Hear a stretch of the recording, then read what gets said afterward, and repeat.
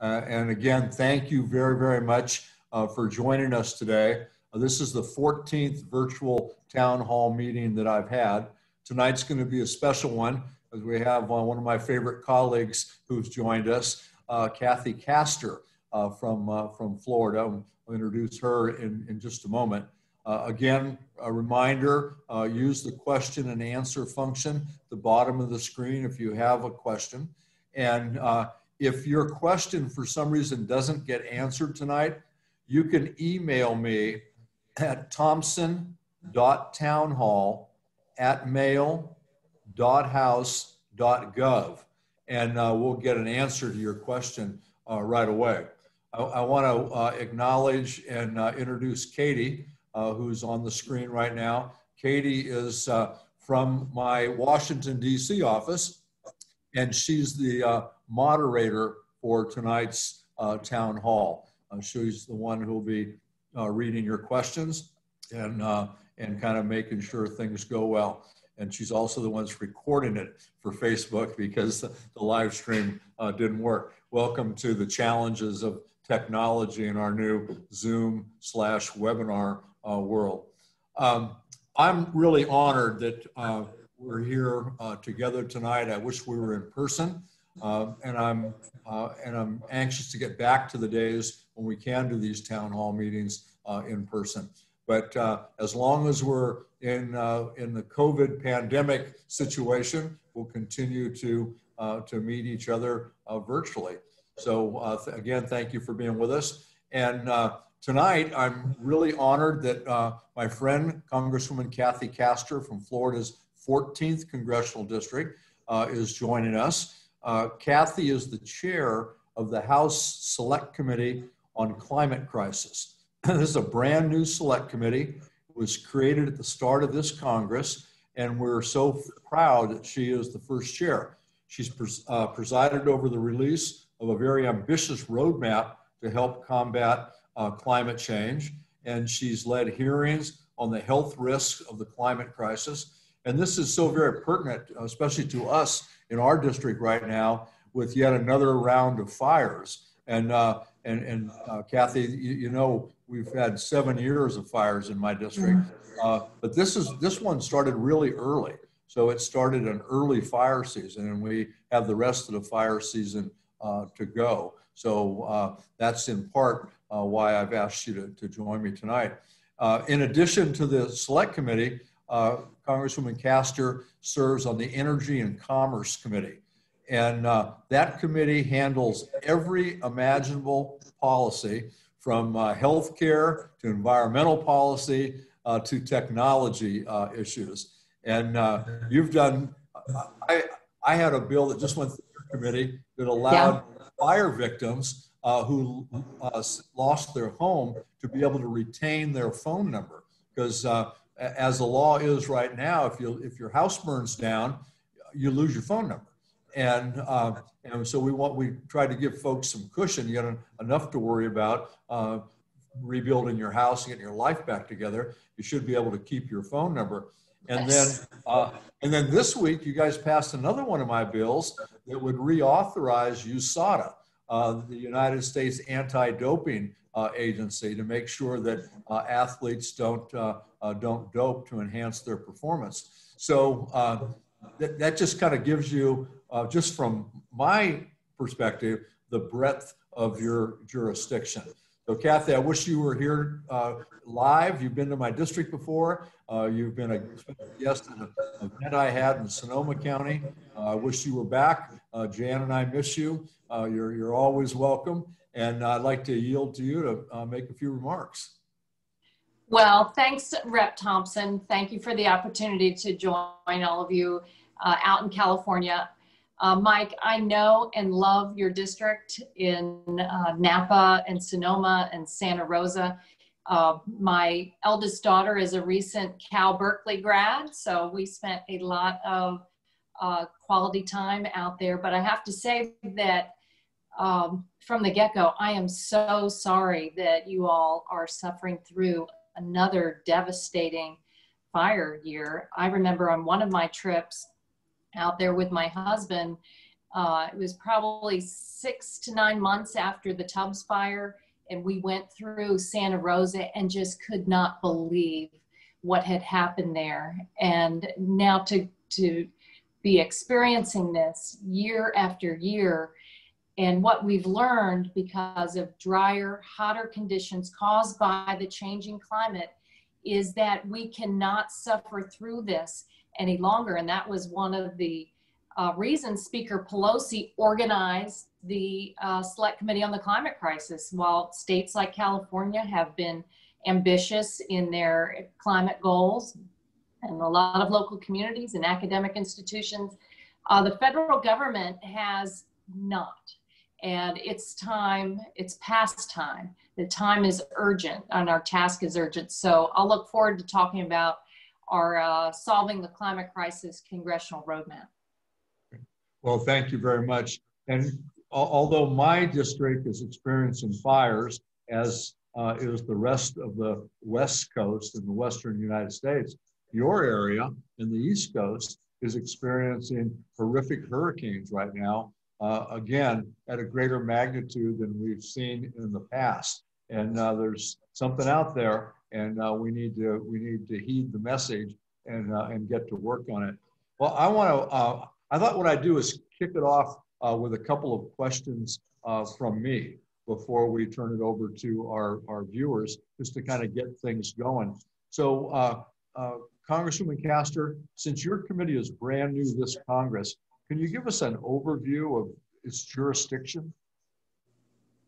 Yes, it's the planet. Mike, when you're talking about climate change, I mean, it cuts across everything that we do in the Congress because the solutions have to be broad and they have to be ambitious. And so that means the power sector, it means the transportation sector, it means public lands, it means the missions uh, of the military and how we make our military installations more resilient.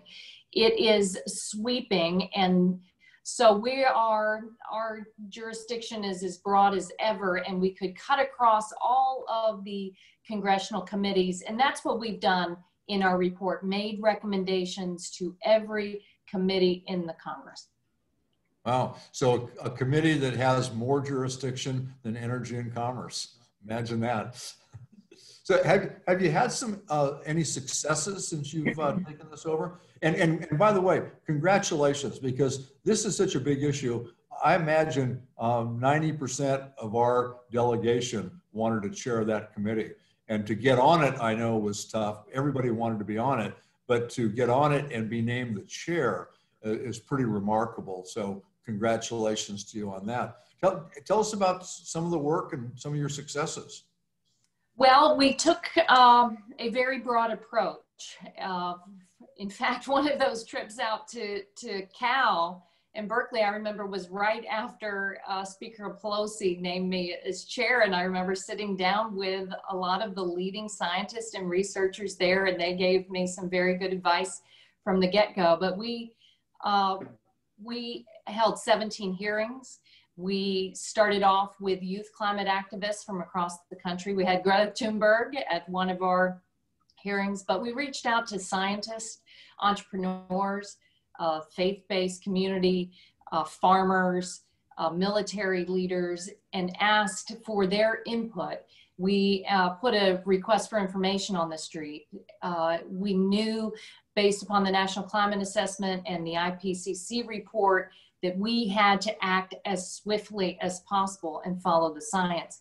So we rolled out our report at the uh, end of June, and right off the bat, uh, this was, we knew this was not going to be a report that was going to sit on the shelf. In fact, a few days after that report, the House of Representatives passed the cleanest and greenest infrastructure package in our history in uh, the Moving Forward Act that contained your very important Green Act that we can talk a little bit more about.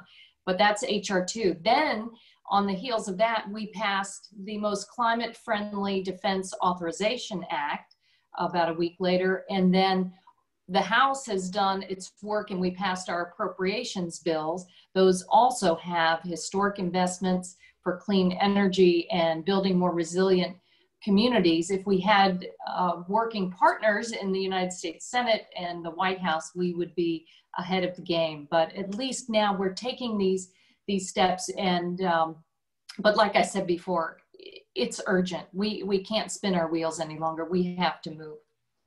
Oh, that's fantastic. And imagine that a chair that believes in science. That's uh, that's good stuff. I guess you don't have to worry about uh, Scientific American endorsing your opponent. Right.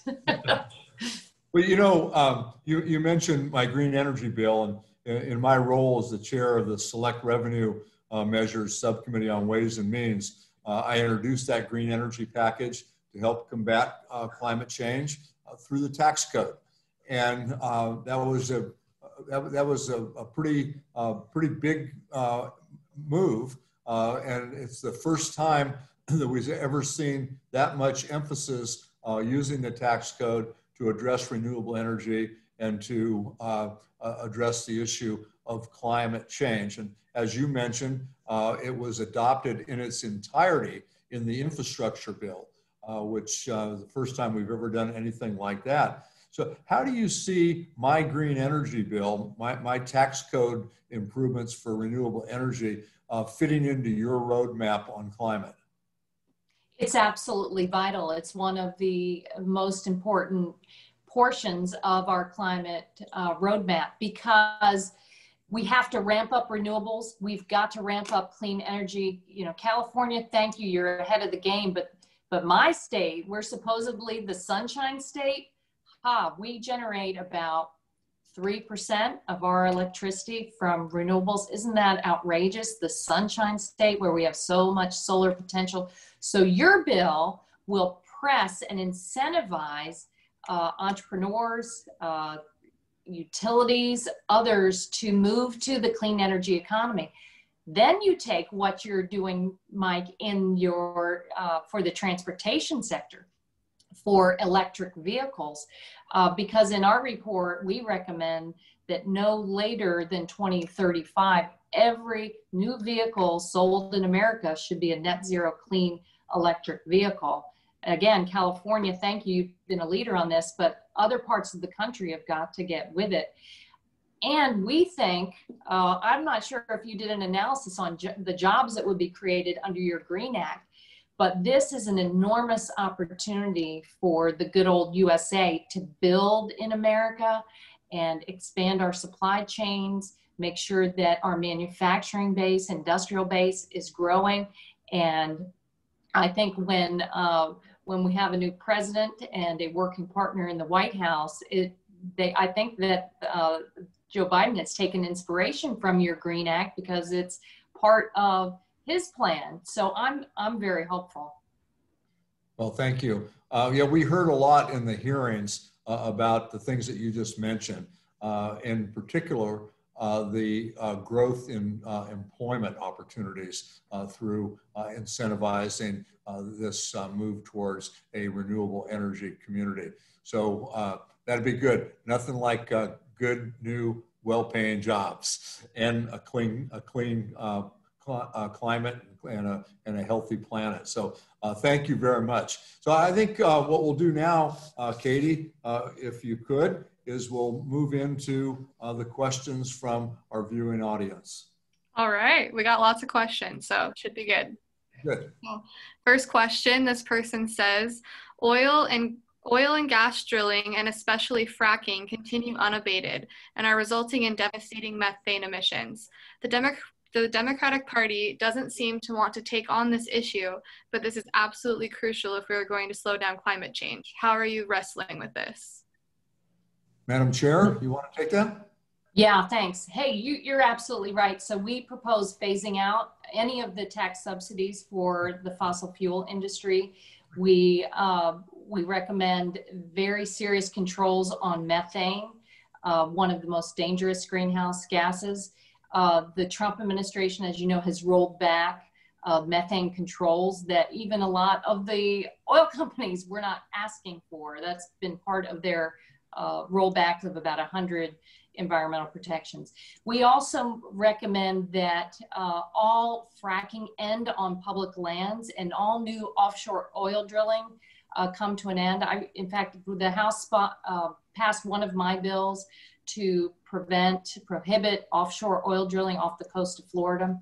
We've also adopted in the House what we recommended in our report, no new offshore drilling. We just can't rely on the fossil fuels any longer. You can, you all are experiencing the consequences firsthand.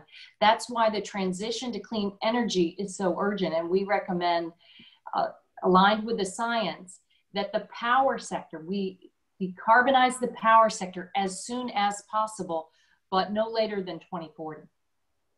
And I think it's important to note that uh, change doesn't happen overnight, nor is it instantaneous. And we have a big country. We have 435 members of Congress, 100 different members of the Senate, uh, and all of them have different ideas and represent different parts of the country. And, uh, and everybody doesn't think alike. So the work that you're doing, Kathy, and your committee, you're able to showcase uh, the data, showcase the science, and it's just one more uh, one one more place where we can push uh, to influence public policy. So uh, this is the first time. I don't believe that there's ever been a select committee on climate uh, in, in, in the past. So the fact that Speaker Pelosi picked you to do this, set up this committee, and has made it a priority is, uh, is pretty important.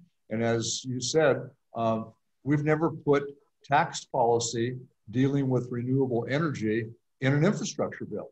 So everything we're doing uh, has a future uh, look to it, uh, looking to figure out how we can improve things for uh, our future and for future generations. Kate, uh, Katie, you have another question? Yeah. All right. Next question. This person says clean public transit is a key tool to addressing the climate crisis and reducing greenhouse gases. Can you speak to how the federal government can help save public transit and transition it to clean fuels? You know, th th there's really a couple of issues here. Uh, there's the clean fuel side, and, and we've done quite a bit uh, over, over the years, uh, Uh, uh, providing federal money uh, to incentivize uh, a move to clean fuel in, in, in public transportation. But right now, there's another crisis in public transportation, and that's the economic fallout from COVID.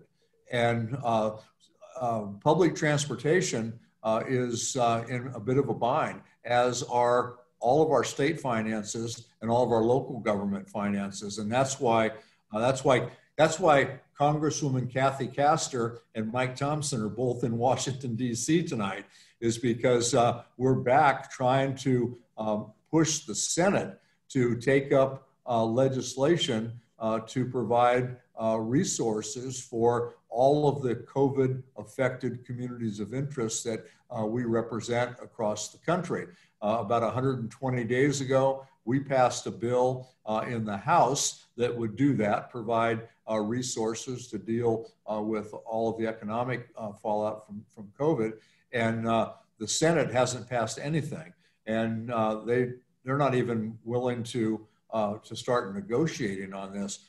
And it's interesting because you know, uh, we did our bill was a three trillion dollar bill, and we uh, we have come back and said, okay, we can lower it to two trillion dollars, and still crickets from the Senate. Uh, Mitch McConnell uh, tried to uh, pass a bill that had the Senate Republicans' priorities, and he couldn't even get that passed. And that, that was a that was 350 million dollars of new money. So that you know that it was a far cry from what uh, we need to do this. And what's really interesting now is uh, the negotiations between the White House broke down uh, when the White House put the president's new chief of staff, uh, uh, Mark Meadows, who was served with both of us in the House and was kind of a bomb thrower. Uh, he didn't negotiate anything. He tried to kick his own speaker, John Boehner, and Paul Ryan, uh, both out of, uh, out of out of that spot. So he hasn't been willing to negotiate. Mitch McConnell hasn't been willing to negotiate. Finally, yesterday, the president came out I, think this was after the chairman of the uh, Federal Reserve said we need Congress's action in order to keep us from going um, broke uh, in, in, the country. And, the, and Congress needs to act and act big. And uh, the president came out to, uh, yesterday and said, we need to we need to act big on this. We need to to to, to move big against this problem financially. And uh, Mitch McConnell announced today that the Senate was going home next week. So it's uh, it, it's uh, it's going to be difficult to do all these things if we don't have cooperation uh, to direct the resources uh, to help out things such as public transportation. And Kathy, I'll turn it. I talked too long. Go ahead.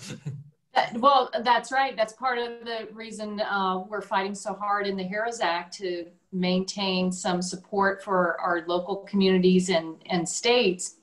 And when it comes to transit, that will keep them afloat uh, really. But looking ahead, transit is key to solving the climate crisis. In our in our report, we recommend growing the investments in public transit exponentially, in addition to other alternative uh, modes of transportation, and bicycle paths that I know Michael like, and uh, and uh, more investment in in walkways in urban areas and in rural areas. But what excites me about the investments in public transportation is decarbonizing them because the transportation sector is the largest source of carbon pollution. So this is an area where we've got to decarbonize the power sector and that's the linchpin to decarbonizing the cars we drive, the buses, the large trucks. And what I get excited about uh, are these electric buses uh, already uh, the U.S. DOT, because of what we've done, we've done in Congress, they're dribbling out grants to local communities for electric buses, and we're targeting them to environmental justice communities, communities that have a legacy of pollution, and that's where we should start. But I, this is also a job creator too. On one of my trips to California, I visited a um, an electric vehicle manufacturing plant down in Southern California, uh, Proterra, and they have those electric buses rolling off the assembly line. And think about what it means for our kids riding to school on those clean electric school buses, not breathing in those diesel fumes, and what an improvement in their health we can see over time. So the co-benefits uh, will grow as we as we move to the clean energy economy. Very well said. Thank you. Katie? All right. Next question. This person says If the president should be reelected, what recourse does the Congress have to keep him from destroying the environment? Well, um, I, I, like to think positive. So uh, I, I, I, don't think this president is going to be reelected. Um, and all of the polls that I've seen lately suggest that uh, we're going to do very well in the House. Uh, we'll maintain our majority there. And every day we seem to be picking up tremendous ground in the Senate. So uh, if the election were today, uh, I feel very confident in telling you that we would maintain our majority in the House, we'd win the Senate, we would win the White House. Now, the problem is the election is 45 days away, uh, and a lot can happen. Uh, I, I, I, expect to see four or five October surprises uh, uh, next month. But um, we're, we're going to have a tremendous majority in the House and the Senate. And uh, if the unspeakable were to happen, uh, that will help us check this guy and some of the crazy things that he has been doing and probably will continue to try and do if, as I say, the unthinkable happens. Hey, Mike, can we ask everybody to uh, call their grandparents in Florida or any of their cousins and uh, their maybe their college roommates that, that live in Florida and make sure that uh, that's covered and they're, they're voting for their kids and their kids' futures because we are at, uh, I feel kind of like we're on a cliff right now. And if uh, this election, I think, is going to be close, it could go either way. What we can do is work through our appropriations. We've been fortunate to have a lot of bedrock environmental organizations that have challenged these environmental rollbacks, but uh, this is dicey, and this is this is uh, the planet we're talking about. I think you all know the stakes, and we will just keep on keep on standing up to these horrendous environmental rollbacks, especially when it comes to climate. Well, I, I agree with you. The only thing that I would add is if your grandparents, your college roommate, your old army buddy, whoever it is, uh, if they live in Florida, most certainly call. But if they live anyplace else, call them too, because we yes. want to make sure everybody gets out and votes. Uh, we want to make sure that everybody votes and that every vote is counted. All right. Next question, speaking of elections, this person says, can you give us any reassurance that our vote will matter and that this election will be valid? I, will give you a lot of, uh, of uh, assurances that uh, every vote matters. Uh, everybody has to vote. I think this is, I think it's, it's pretty safe to say that this is the most important election in any of our lifetime. Uh, so uh, everybody's vote is very, very important. Uh, we need to, because, and you know, everybody knows all the problems uh, that uh, this administration has caused, appointing a very politically motivated postmaster general, changing the rules of the Postal Service. Um, you know, they say that uh, no mail is going to be delayed. Um, I, am one of those people. They say that veterans and senior citizens get their prescriptions uh, overwhelmingly get their prescriptions through the mail. I, am a um, um, veteran with a combat uh, disability, so I qualify uh, to be able to get my medication through the Veterans Administration, and I get my cholesterol medication from them. And for the first time in my life, since I've been getting uh, the prescription from the VA, my uh, prescription is going on now three weeks late. And uh, so I'm one who believes that they can monkey with the with the uh, postal service and mess up the delivery. So uh, make sure that you vote early. If you're going to vote by mail, get your ballot in with ample time to get it into uh, the registrar of voters to be counted, or better yet, deliver it. Uh, there's going to be delivery uh, drops uh, in, in every city in the country or take it to the registrar of voters yourself and turn it in. Uh, do whatever you have to do to make sure your vote uh, is counted. That means vote early, make sure it gets there, and encourage your friends to do the same thing.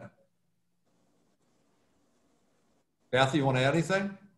I, I do. You, I want to encourage everyone to go read our Solving the Climate Crisis action plan uh, it's at house.climatecrisis.gov. It's over 500 pages.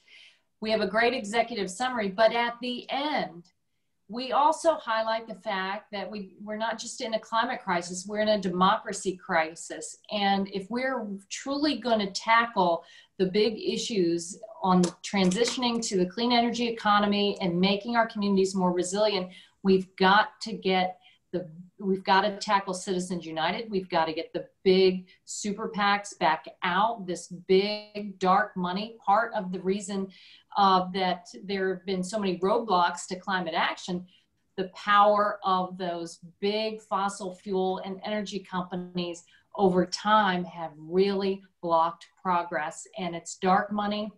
And they, it, they should have to, at the very least, identify who they are, how much they're putting in, uh, but that that's going to be key to climate. These are related. Yeah, the Citizens United uh, case, the U.S. Supreme Court really set us back. Uh, the, that allows uh, people to put what you referred to as dark money. That's money that uh, is spent on campaigns that nobody knows where it came from, and uh, and, and, that's just wrong in, in, in any way any way you cut it. So we need to we need to get engaged. We need to stop this stuff from happening.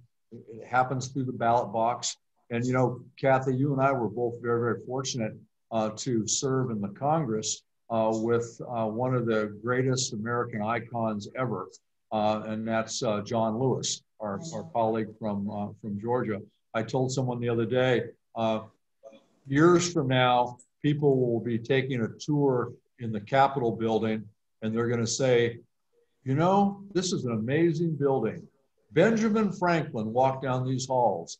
John Lewis walked down these halls. That's the type of caliber uh, of, of a hero uh, he is. And I remember um, going to Selma, Alabama with John for the 50th anniversary of his march across the Edmund Pettus Bridge, where he uh, worked uh, in a peaceful way uh, to make sure everybody had a right to vote. And it was on that bridge where, uh, where John was almost beaten to death. Uh, he was hospitalized. He was beaten so bad because he was working to make it possible for everyone to have the ability to vote. And uh, we, he and I served together on the Ways and Means Committee. And, and he told me, he said, you know, he said, I bled and almost died for people to be able to vote. So don't let that go. Uh, don't let that go in vain. Uh, make sure that you exercise that right to vote and do everything you can to make sure everybody exercises their right to vote. All right. So next question. This person says, if or when oil refineries were to close down, can the federal government do anything to help replace the revenue local cities lose and to help provide for the workers who could potentially lose their jobs? Well, I, I want to kick that to Kathy, but before I do, I, I just want to mention that I had a, a, a very interesting briefing uh, by P66 in Rodeo, uh, the refinery, uh, who, um, who came to me uh, and uh, told me that they're doing a major shift and they're going to, uh, going to revamp their plant uh, to do uh, more uh, renewable energy types of operation. and they tell me that they're going to see more people employed at the facility. And I don't uh, see any reason why we can't uh, enjoy that type of success across the country. And Kathy, I imagine your committee is looking into these things. You bet. We, we're very cognizant of the fact that in this, uh, as we ramp up renewables, uh, a lot of those old fossil fuel plants or, or coal mining areas uh, will, we've already seen it in, the, in a lot of the coal communities, they're going to need uh, additional assistance. So in our report, we recommend some very significant uh, transition assistance. That means uh, community college, retraining. It means empowering those communities to make those decisions about what kind of new industries. Uh, we think that the, in the clean energy economy, the supply chains will be entirely new. For example, we've got to build the modern electric grid, a macro grid, because a lot of the renewable resources are in the center of the country while the population uh, cl closer to the coast. So there is going to be significant new work, uh, especially in the Midwest, as we build the modern electric grid. We also envision that extending broadband to rural areas can um, take a hike along with a lot of the building of the modern electric grid. In California, we've got to do more on distributed energy. Uh, we we need to do more to prevent a lot of the fires that are being caused by uh, lines that aren't maintained, uh, that aren't operated correctly. We've got to bring in additional operators. So net net, we see an enormous opportunity to create new jobs. But you're absolutely right. We have to be mindful that we're not leaving anyone behind and replace that lo lost revenue with new sources. You know, uh, I don't know if it's appropriate to do this on, on this in this venue, but uh, I have legislation that uh, would uh, bring FERC uh, into uh, the regulatory process for for local utilities and for the for the high line delivery system. You know, one of the problems we had in California, you mentioned it, the faulty equipment. Uh, mm-hmm. and uh, the federal government really doesn't have any say so on control over uh, local energy producers and distributors. Uh, so we're trying to bring FERC in uh, to set higher standards uh, for what type of equipment to use so we can cut down on those things. So look for that. Got it. All right. Next question. This person says, aside from climate change, is forest management a participant in the crisis that we've been seeing with fires in California? Well, that's an excellent question.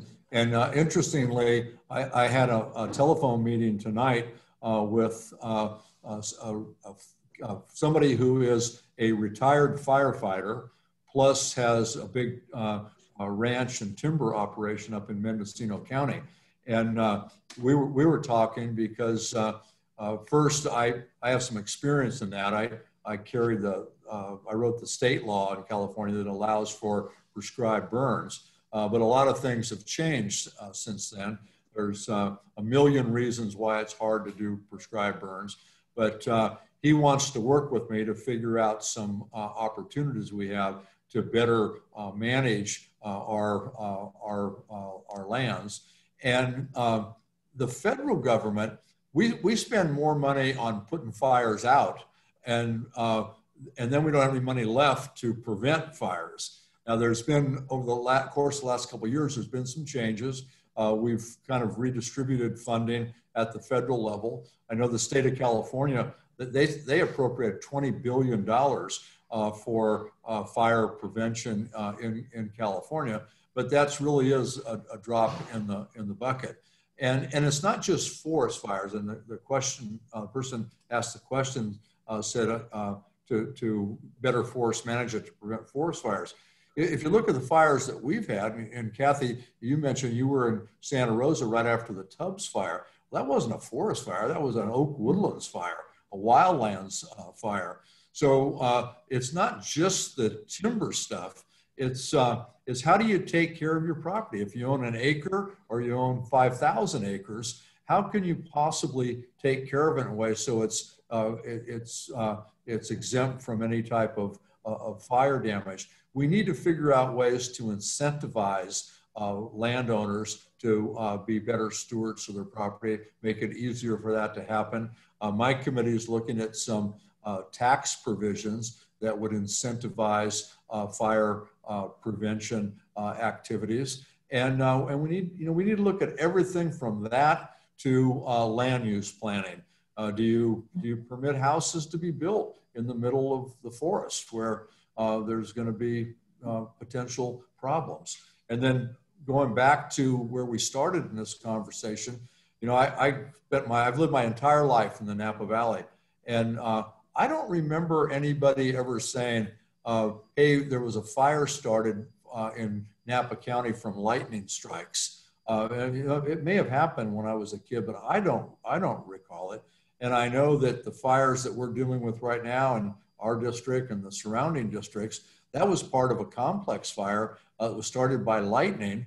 Uh, that I think was 526 fires were started in my area uh, on on that one night, and we know that the lightning came about and was, I guess, enhanced because of uh, offshore pressure systems uh, that caused this onshore uh, oddity to, to, to happen and it's directly related to the change uh, in, in climate. So I guess the shorter an short answer is yes, we need to do everything to try and figure this out. Yeah, so in our report, we make a number of detailed recommendations uh, to be enacted into law. Uh, so here are a few. We want, we recommend that we give land, land management agencies better tools uh, for planning, for research, enhance their budgets. There are, talking with scientists and academics, there are so many new tools available to them, and we need to make sure that local communities have access to all of that data and those tools. We need to map wildfire and smoke risk. We need to invest in wildfire resilience. We need to invest in research on forest health and wildfire behavior. We need to invest in electric grid infrastructure, operations, and maintenance to reduce the risk of fires being triggered by electric power. And we need to ensure uh, that our critical infrastructure, like our hospitals uh, and other, other critical buildings, have backup power. Um, our report, uh, I recommend it to you again to go check it out. It's not just about reducing carbon pollution and the clean energy economy. It's the most detailed set of recommendations to the Congress in history on resilience because unfortunately we've waited too long and we're going to have to adapt. And that means certain things in, in a state uh, like Florida, and it means different things in California. Perfect. All right. Um, next question, sort of uh, similar to what you mentioned, Congresswoman. This person says, according to NASA scientists, there isn't anything the USA can do alone to stop global warming, as the greenhouse gases have already done their damage.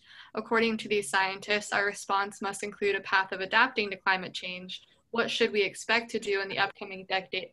Upcoming decades, excuse me, to adapt. Yeah, we need to, the federal government has got to be a better partner to local communities. And that means, yes, uh, making investments in clean energy and, and setting standards for electric vehicles and energy efficiency. But it, it means uh, starting especially in environmental justice communities and communities of color that have long carried the burden of polluting plants and they're we see it now with covid they're they're disproportionately impacted by by dirty air and health impacts. So we recommend a national climate adaptation plan be developed and that uh, we incentivize regional resiliency planning. We also recommend a um, a huge new civilian conservation corps and a climate resiliency corps that will again be um, a way to to foster employment across the country. I know you all um, have met a number of these young, motivated, smart folks that really want to be part of the solution, whether they're going into science or they're the folks I saw in the Smoky Mountains a few weeks ago hammering out the, the trail we have an enormous opportunity to make America more resilient, one community at a time, starting with our EJ communities. And so we lay out the roadmap and we need to enact those policies into law. All right. Next question. This person says, I have a 10 year old son who is very concerned about climate change and what it means for his future. With wildfires, smoke, and sunless orange sky, days are terrifying for all of us. What advice do you give kids who feel frustrated by the failures to adequately address climate change to date, and what can they do to help? I don't think it's ever too young to get involved uh, in your community. And uh, I've seen some kids do some amazing things. Uh, tonight, before the town hall meeting, uh, I was at the dedication of the Dwight D. Eisenhower Memorial. Uh, I'm the vice chairman of the commission for that and we cut the ribbon tonight. And uh, there was uh, a school teacher there who was recognized because uh, his fourth grade class raised money to uh, build that memorial.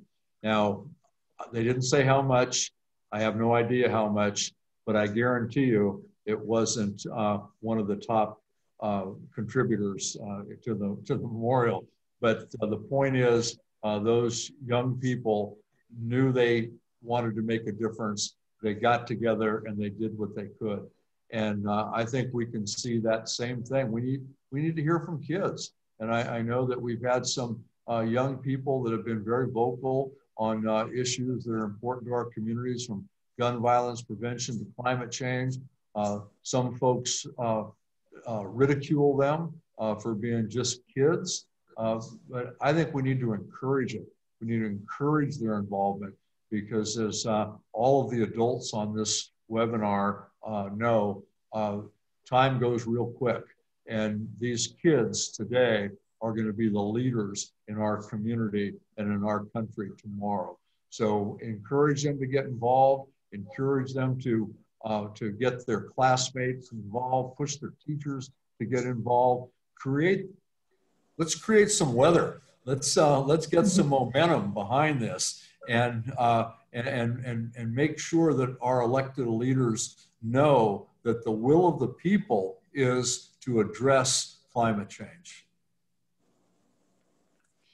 And you know, Mike, there's a wonderful climate scientist uh, in Texas, Texas at Texas Tech, uh, Dr. Katharine Hayhoe. And if any of you all are on Twitter, I encourage you to follow her. Um, what she always says is the most important thing is to discuss, talk about climate change, talk about it with other people, help them understand. And you all can talk uh, from some very unfortunate firsthand experiences. I mean, those those pictures of the the blood red sky. I mean, that I think that was a wake up call to everyone across this country, across the planet. I mean, we went through the same thing watching those Australian wildfires. And I find right now that young people are more motivated than ever and they can do what they can in their personal lives through whether that's um, you know the way they travel the what they eat uh, encouraging their friends but they we've got to do more on the macro scale uh, here and listen to the scientists. I know you all, the other wake up call was the, uh, the president comes to California and um, your go- good natural resources lead corrects him and says uh, that he says, well, I don't think the science knows. And, and what is his name? Wade Crowfoot. He said, Mr. President, the science knows and that, that's what we have to do that with all the misinformation out in the world empower our young people to speak truth to power. And and kids shouldn't sell themselves short.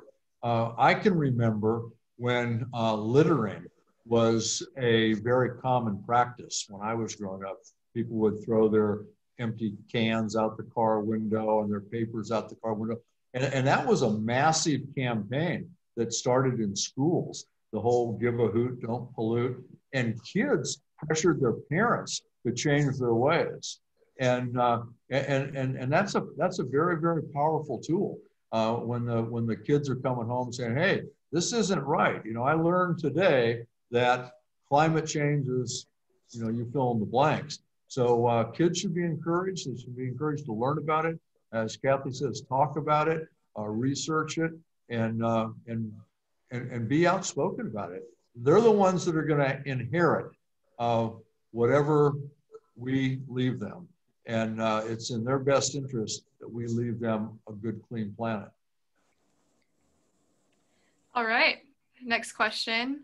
Uh, this is for Congresswoman Castor. This person says, How is progress being measured in solving the climate crisis by your committee? Yeah, so um, the report was uh, analyzed by an independent think tank, uh, Energy Innovation. And if you go into the report, I think it's it's attached. Uh, what I'm focused on right now are the the biggest bang for the buck on reducing carbon pollution. And what that uh, what Energy Innovation said is number one, uh, the power sector.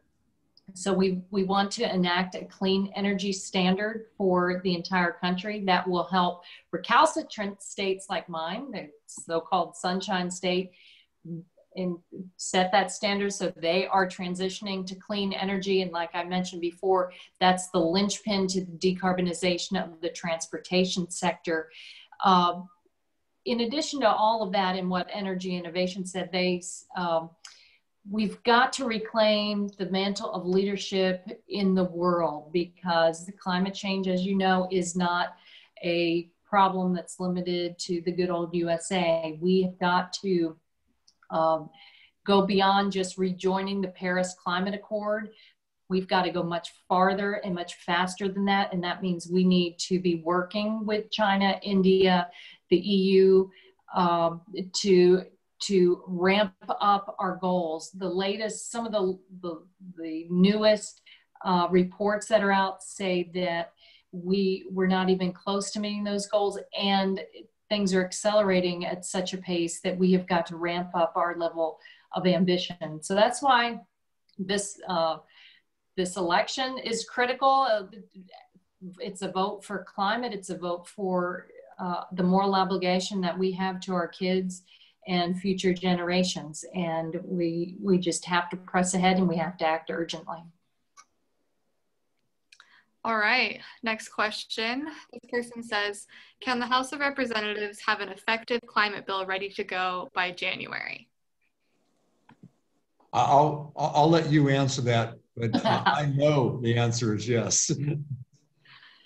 Yeah, fortunately, uh, we are not starting from scratch. As I mentioned, um, a, a couple of days after our report rolled off the presses, we passed the cleanest and greenest infrastructure package in the history of the Congress that contained Mike Thompson's Green Act that is, is the pillar on tax policy pushing uh, innovation in for electric vehicles and in the power sector and in industrial processes, and then uh, the defense bill.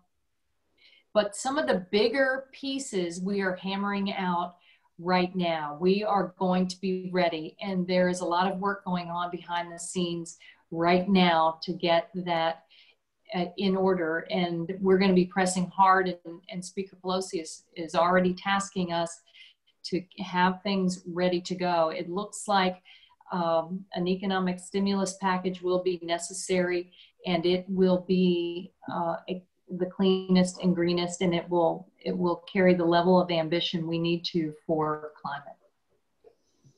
Very good. All right. So, next question, probably the last question. This person says How can we trust that Democrats are treating this with the necessary urgency when even some of the most basic and crucial steps, like banning fracking and ending fossil fuel subsidies, aren't widely embraced? Kathy? Yeah, they, they are widely embraced. Um, the vast majority of member Democratic members are in favor of banning new fracking. Uh, there, there will be a transition though for, because you can't flip a light switch and say everything comes to an end right away. We have, we have plenty to do. Uh, but I tell you, when we institute methane controls, when we set these standards, it's going to become even less uh, lucrative for them and they they will be phasing out probably without uh, us coming down hard with the hammer. We do have to phase out those any fossil fuel subsidies. That's on that's in our plan. We we simply can't afford uh, to waste one penny any longer there. We have got to put everything into clean energy. Great. Well, Kathy, um, I want to thank you very, very much for coming on. It was really a joy to be with you and uh, the next best thing to being with you in person. And uh, I think you uh, brought a lot of good information, and I know that there's still questions that people want to ask. Sadly, we're out of time. Uh, again, if uh, you email me, we'll get an answer to your questions. And I'd like to thank everybody for uh, watching. And, and Kathy, I'd like to just ask if you have any closing remarks. Well, I want to thank everyone out there in Napa, Sonoma, Santa Rosa, and uh, to the northern areas. Thank you for sending Mike Thompson to Congress. He is a leader in the Congress when it comes to climate, the climate crisis. His Green Act truly is one of the linchpins in our sol solving the climate crisis action plan. I encourage you to go and read it. At least read the executive summary. Look into the fire management provisions and understand we are committed to acting urgently and ambitiously uh, to solve the climate crisis. So thanks, Mike. Thanks, everybody. Well, again, thank you. And I, I want to thank everybody for, uh, for tuning in. Uh, this is clearly the biggest issue that faces us, not only as members of Congress, but as a people. Uh, th this is the biggest issue facing everybody in the world today. You know, if, if we got everything else right, if we did the best transportation bill and the best gun violence prevention and the best health care, every, if, if we were able to pass all those bills, if we don't get the climate issue addressed, it's all for naught. This is, uh, all the marbles are at stake in this. So uh, thank you for your interest, for, for uh, tuning in. Uh, Kathy Castor, uh, thank you for the great work you do in Congress and for the uh, marvelous job you do as the chair of the select committee. And I look forward to working with you and to, uh, to get uh, to see some success in these, in, in these measures. And I think together uh, we'll be able to all come out of this stronger and better. And we're gonna, we're gonna, we're gonna, we're gonna do, we're gonna get some solutions done Uh, on climate change. And it's going to be in large part because of your leadership. So thank you very much. And everybody else, thank you. Email in your questions and we'll get answers to you. Thank you very much.